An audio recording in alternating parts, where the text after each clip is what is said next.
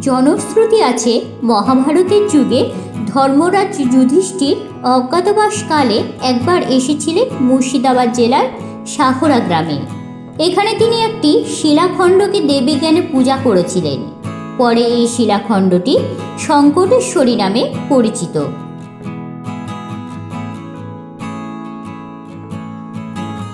আজ আমরা চলেছি মুর্শিদাবাদ জেলায় সেই পৌরাণিক গ্রাম শাহরায়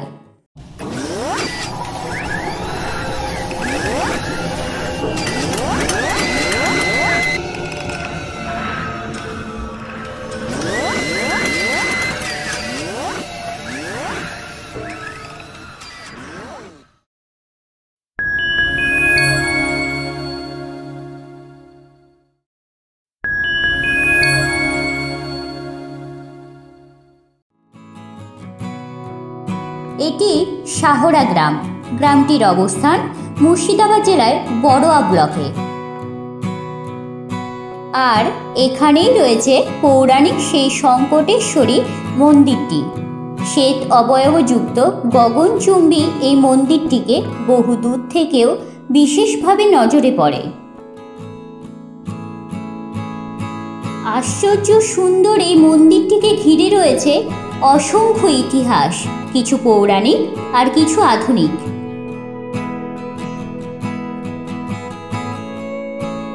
যুধিষ্ঠিরের শিলাখণ্ড প্রতিষ্ঠার অনেক আগে থেকে এই স্থানটি বিশেষভাবে পরিচিত, কারণ জনশ্রুতি আছে এই স্থানেই নাকি পড়েছিল দেবী সতী শঙ্খ।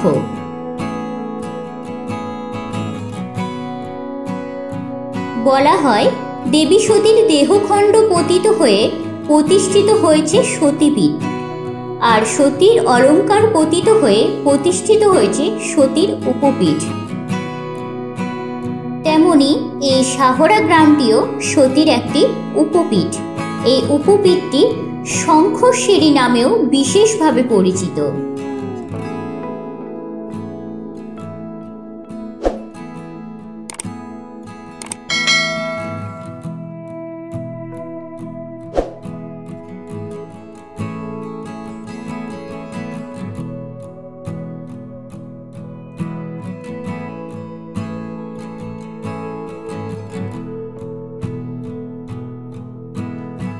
মন্দিরের সেবায়েত চয়ন চক্রবর্তী জনদর্পণ প্রতিনিধিকে জানালেন জয় মা শঙ্করী। আশা করি শঙ্করী মায়ের কৃপায় জনদর্পণের সমস্ত দর্শক ও শ্রোতা ভালো আছেন, সুস্থ আছেন। আমাদের প্রাচীন এই মন্দির, শ্রী শ্রী শঙ্করেশ্বরী কালীমাতা মন্দির, যেটি মুর্শিদাবাদ জেলার বনগা থানার অন্তর্গত সাহরা গ্রামে অবস্থিত, অতি প্রাচীন এক মন্দির।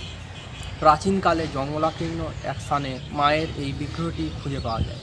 তারপর গ্রামের জমিদাররা এই মন্দির নির্মাণ করেন। বর্তমানে যে মন্দিরটা আমরা দেখতে পাচ্ছি, সেটা গ্রামেরই এক শঙ্করী মায়ের ভক্ত শ্রী গৌতম দাসগুপ্ত মহাশয়ের প্রচেষ্টায় নির্মিত হয়। আমাদের মন্দির সম্পর্কে অনেক পৌরাণিক কথা, কাহিনী শোনা যায়।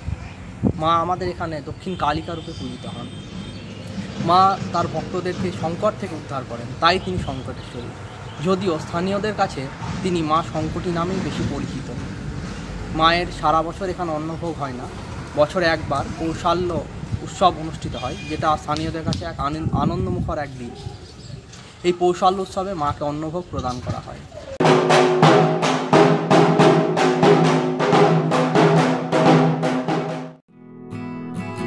শোনা যায়, কাশী থেকে আগত সাধক ভবনানন্দগিরি এই স্থানটিতে ধ্যানমগ্ন অবস্থায় দেবী সিংহবাহিনীর দর্শন পেয়েছিলেন। এছাড়াও এখনকার একটি শিমুল গাছের নিচে সাধক কৃষ্ণানন্দ সিদ্ধি লাভ করেছিলেন।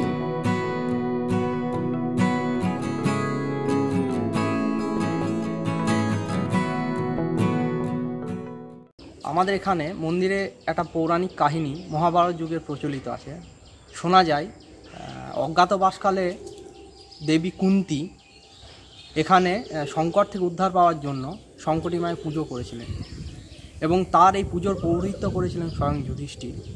তারপর থেকে এই মন্দিরে প্রত্যেক অঘ্রাণ মাসের অমাবস্যার পরের মঙ্গলবার, তৃতীয়া থেকে দশমীর মধ্যে যে মঙ্গলবার পড়ে, সেই মঙ্গলবারে সংকট মঙ্গলবার উদযাপিত হয়ে থাকে, যেটা পশ্চিমবঙ্গের অন্য কোনো মন্দিরে হয় বলে এখনও শোনা যায়নি বা জানা জানা নেই। এটা একমাত্র আমাদের মন্দিরেই হয়।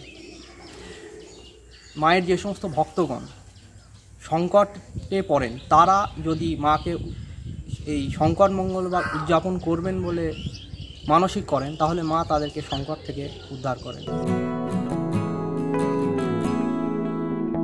এক সময় এখানে নাটোরের রানী ভবানী দেবী একটি ছোট মন্দির প্রতিষ্ঠা করেছিলেন। পরে দু হাজার এগারো সালে এই গ্রামেরই এক মাতৃ সাধক গৌতম দাশগুপ্ত পঁচাত্তর ফুট উচ্চতার এই বর্তমান মন্দিরটি নির্মাণ করেন। আর একটা পৌরাণিক কাহিনী যেটা প্রচলিত, সেটা হচ্ছে এই মন্দির দেবীর একটি উপপীঠ। শোনা যায় এখানে দেবীর শঙ্খ বা সাপ পতিত হয়েছিল। তো দেবী তখন শঙ্খেশ্বরী হিসাবে প্রচলিত ছিলেন। তার নামটা শঙ্খেশ্বরী হিসাবে প্রচলিত ছিল। পরে সেটি অপভ্রংশ হয়ে দেবী সংকটেশ্বরী হয়।